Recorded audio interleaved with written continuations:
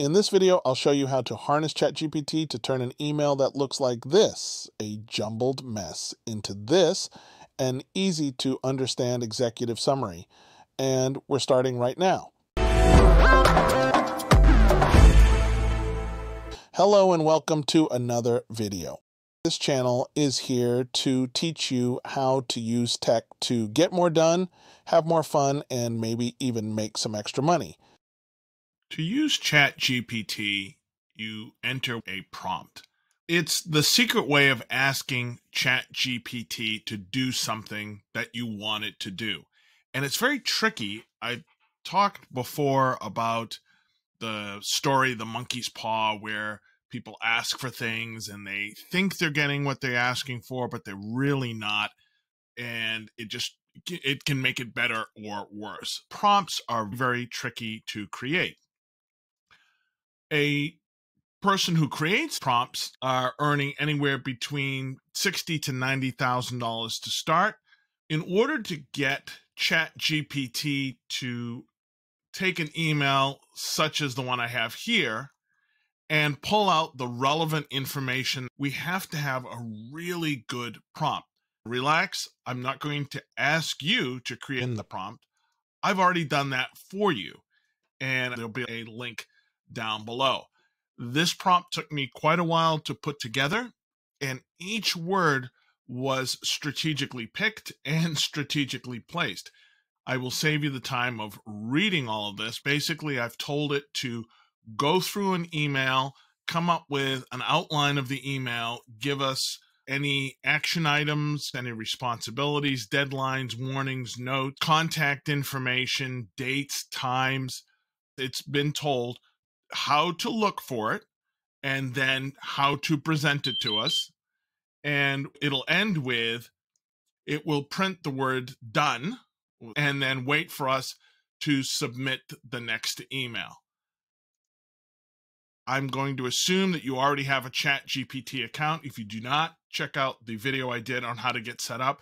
It literally takes two minutes to set up. Go to Chat GPT, click on join, and that's it. They have a free and a paid version. I highly suggest getting the paid version that gives you the chat GPT that's a little smarter. And there's other features that we'll be exploring in other videos. In order to use this, all we have to do is cut, copy, and paste this prompt into chat GPT. And once we do that, we can use this over and over again.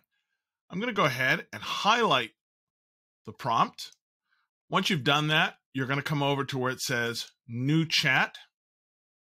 You're going to come down to where it says send the message, and we're going to paste in that prompt. And I'm going to click on the send message button. And basically, we've told it, look, I'm going to keep giving you emails and you're going to do everything I've asked you to do. And you can see it says done. It's actually waiting for our first email.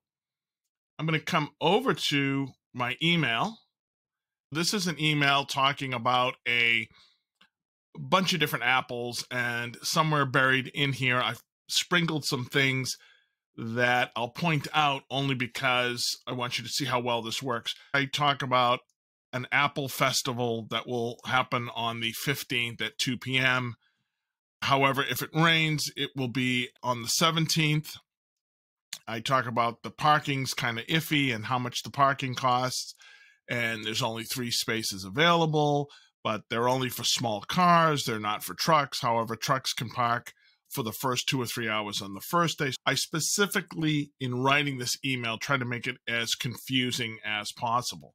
I also talk about that maybe we should go with our friends Rose and Phil. Phil, by the way, has a new telephone number because he's changed he's changed phone numbers, and Rose who now works at Tip Top Farms. She has a new email address.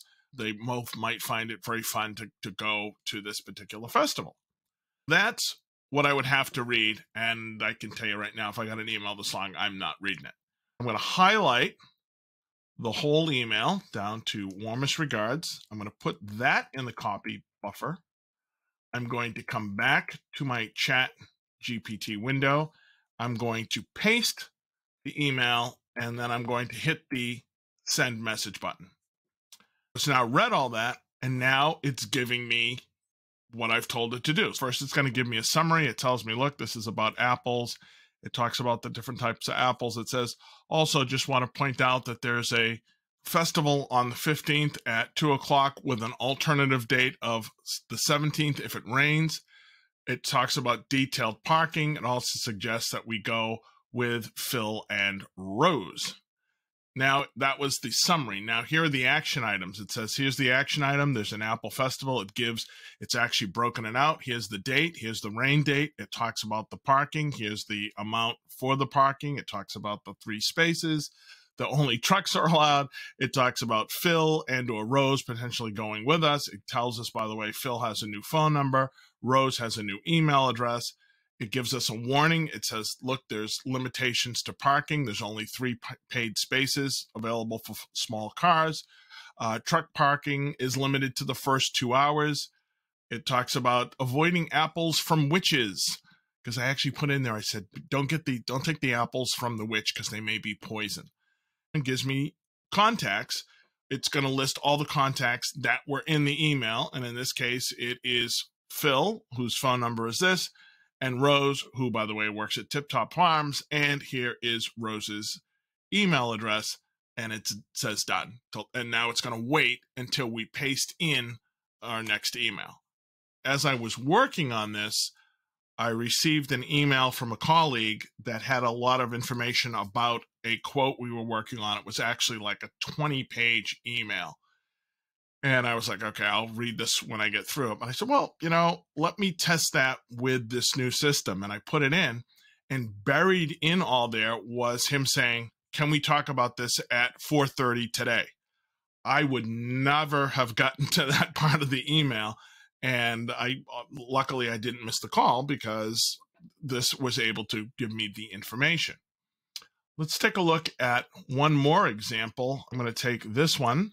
I'm going to highlight this whole email and I'm going to come back to chat GPT.